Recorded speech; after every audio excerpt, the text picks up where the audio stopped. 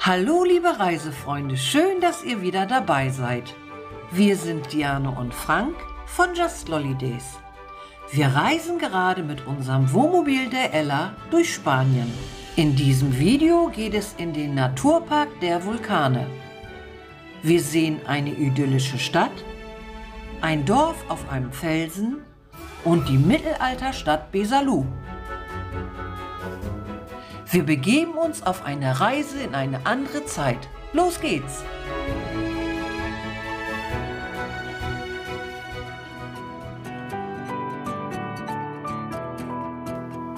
Es geht nun zu unseren letzten drei Stationen in Spanien. Von Big aus sind es etwa 50 Kilometer bis Santa Pau. Wir fahren durch den Naturschutzpark der Vulkane Geroschka. Hier gibt es auf 120 Quadratkilometern 40 Vulkane, die nicht mehr aktiv sind. Der letzte Ausbruch fand vor 10.000 Jahren statt. Eine schöne Landschaft, die sich auch zum Wandern und für Fahrradtouren anbietet.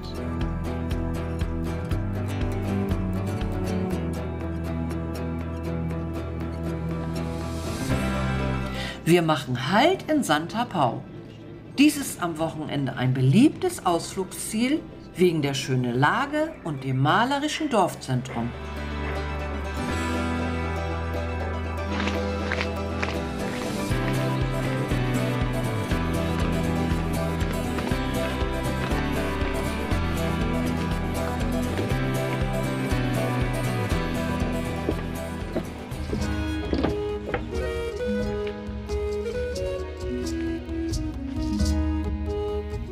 Das Kastell stammt aus dem 13. Jahrhundert und in diese Zeit fühlt man sich zurückversetzt. Die hübschen Steinhäuser und die Arkadengänge sind wirklich malerisch.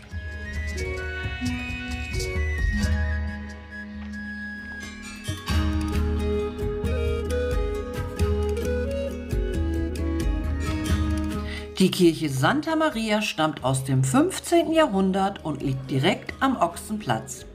Hier verkauften früher die Bauern der Umgebung ihr Vieh.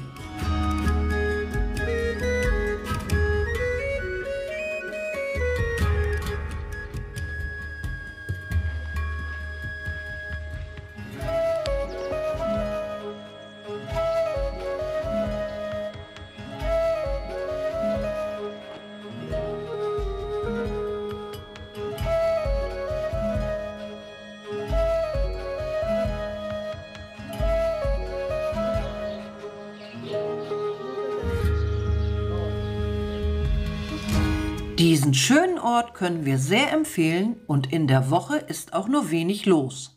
So kann man gemütlich den Ort erkunden.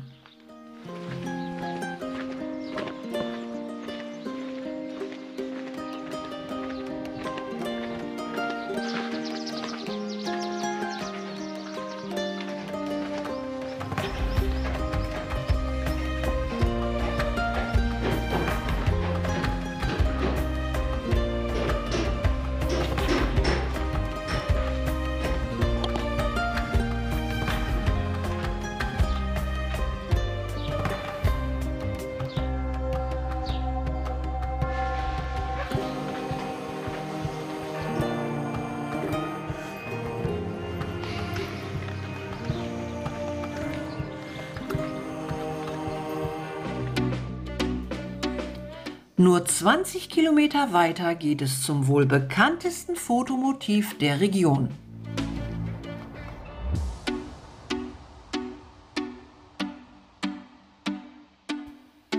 Bei der Anfahrt wirkt erstmal alles ganz unspektakulär und wir spazieren neugierig zum Aussichtspunkt.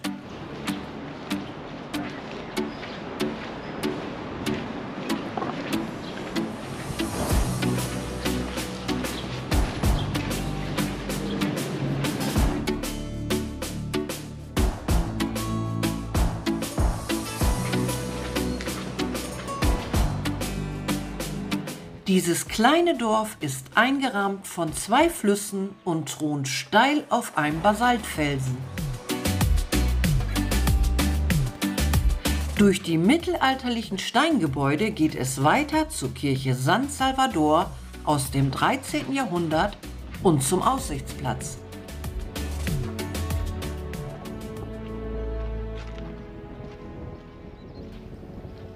Hier geht es nun über 50 Meter steil hinunter. Ein schöner Ausblick auf die Vulkanregion und ein spektakulärer Blick auf das Dorf.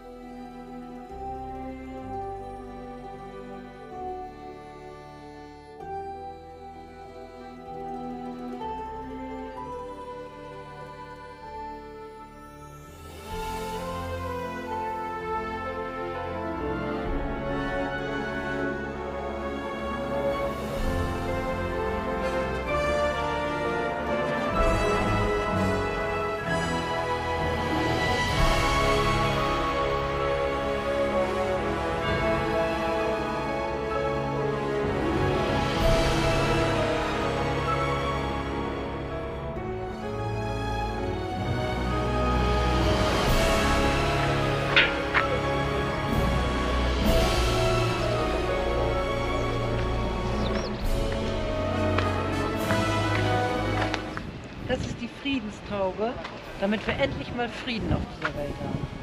Das wäre schön. Ja. Anfassen bringt nichts.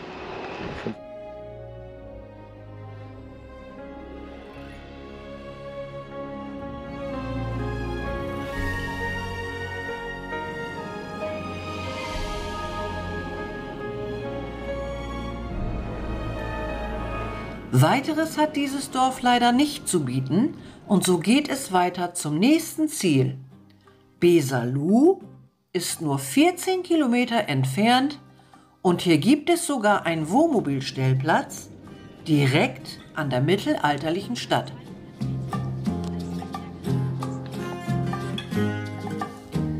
Der Stellplatz ist kostenlos und bietet eine Fähr- und Entsorgung und liegt direkt vor der markanten Brücke von Besalu. Ein weiterer Parkplatz ist auch in der Nähe. Dieser ist wohl etwas beliebter, da er abseits der Straße liegt, aber auch unser Parkplatz war nachts sehr ruhig. So, wo sind wir? In Besalu. Besalu, Besalu mucho. Kennt ihr doch alle. Besami mucho, Besalu mucho.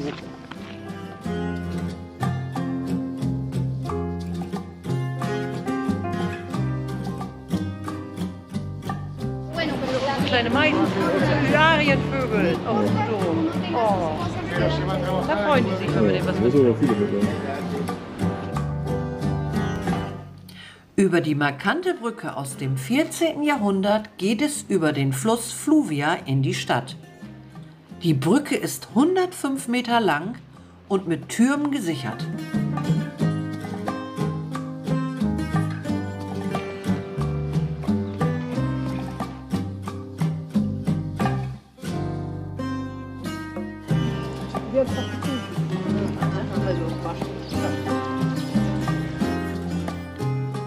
Der mittelalterliche historische Ortskern steht unter Denkmalschutz und diente unter anderem für den Film Das Parfum als Filmkulisse.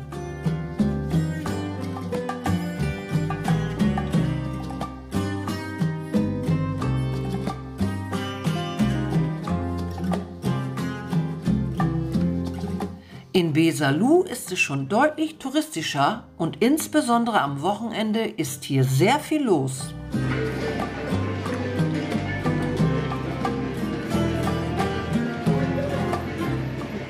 Besalu, Besalu mucho. Schick, ja.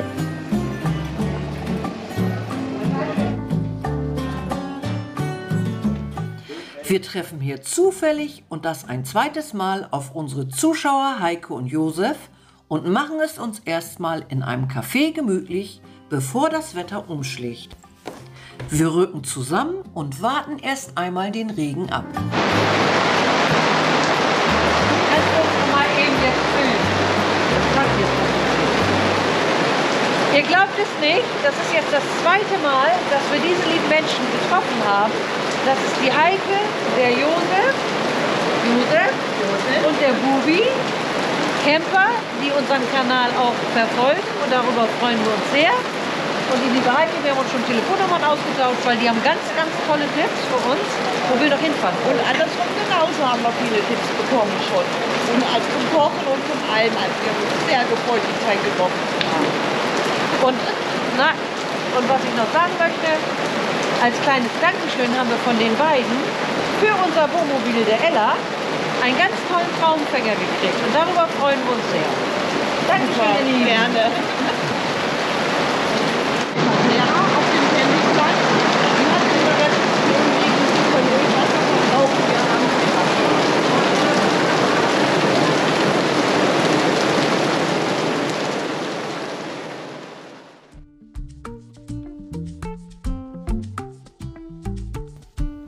Am nächsten Tag können wir uns dann die Stadt noch einmal ohne Regen ansehen.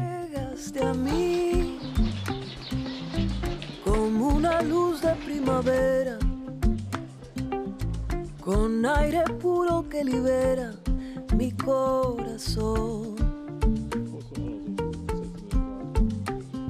Llegaste a mí. Wir erleben eine schöne mittelalterliche Stimmung und finden Geschäfte mit einem entsprechenden Sortiment an Souvenirs. Es.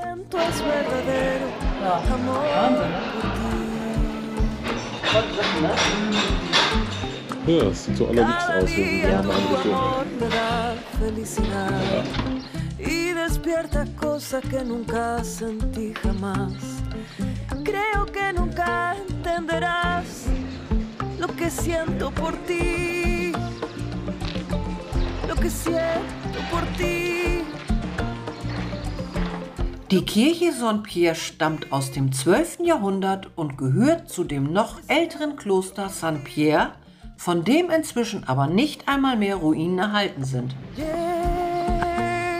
a mí como una luz de primavera. Kommt man nicht rein? con aire puro que libera mi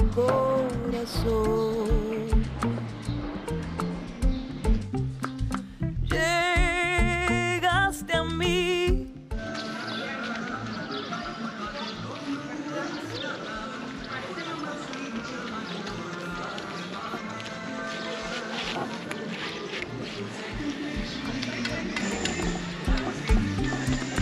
Cada día tu amor me da felicidad y despiertas cosas que nunca sentí jamás.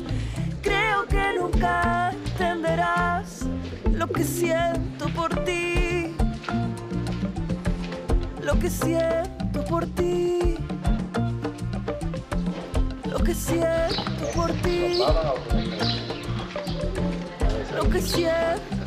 Die romanische Kirche St. Vicent stammt aus dem 15. Jahrhundert und ist recht schlicht, aber stimmungsvoll.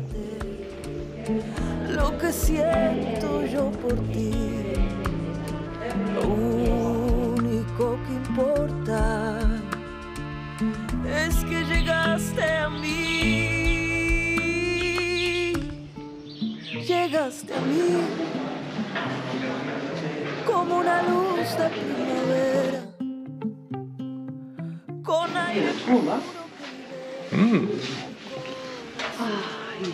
Na, Komme zu mir. Kinder. standesgemäß? Ja, standesgemäß, würde ich sagen. Schön, das ist ein schöner Stuhl. So, sprich zu, Aber, aber auch, muss man sagen, so. so, sprich zu deinem Volk. Liebes Volk, abonniert den Kanal Just Holidays und es wird euch immer gut vergehen.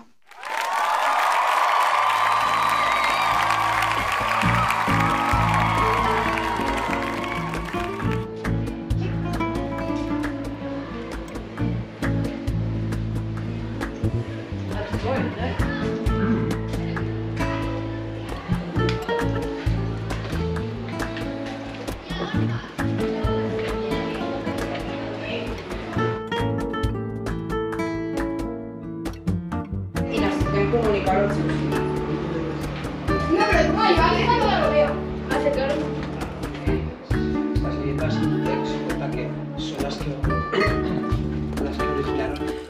einige Reisegruppen werden durch die Stadt und ihre Geschichte geführt.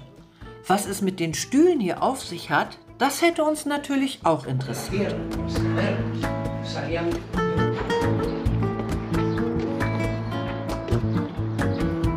Besalú ist auf jeden Fall ein Ausflug wert und ein schöner Abschluss unserer Reise durch Spanien.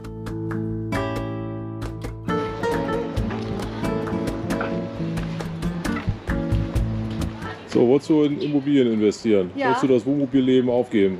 Ja, In ein Haus, einen festen Wohnsitz? ich möchte meinen kleinen Vögelchen, wir nennen die Meisen in, auf Usedom unsere Ü-Arienvögel und dafür kaufe ich denen jetzt ein Haus. Wir haben zwar viele davon, aber ich wünsche mir echt, dass da so eine kleine Familie einzieht. Ne? Muss ich gucken, ob die alle gut sind. Ja. Kostet das Invest? Also, ich habe jetzt für diese Würste, das sind hier Spezialitäten aus diesem Ort, 13,50 Euro bezahlt. Das sind verschiedene Geschmackssorten, einmal Knoblauch, Pfeffer, Natural und Kräuter. Und dann habe ich mir ein Haus gekauft für meine Ü-Arienvögel, damit die im Sommer auch ein schönes Plätzchen haben. Niedlich, ne? So, und der Immobilienpreis? Der Immobilienpreis liegt hier bei 7 Euro pro Quadratzentimeter. Hm. Gut, müssen wir das rechnen.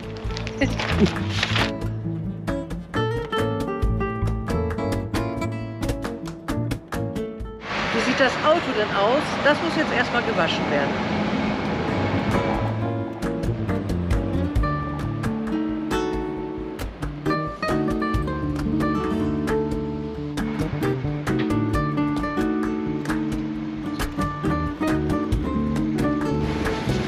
Also erstmal hier vorspülen. Ist das? Wir machen uns startklar für die Weiterfahrt, tauschen noch einmal die spanische Gasflasche und füllen die Vorräte bei Mercadona auf und fahren nach Frankreich. Ja. Viva la France!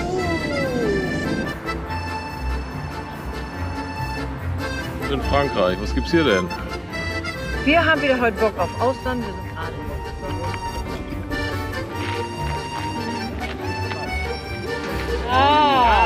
pas comme moi, hein.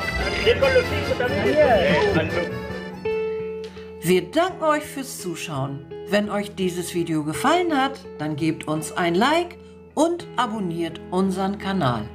Auch im nächsten Video gibt es viel zu entdecken. Und natürlich freuen wir uns wieder sehr auf eure lieben Kommentare.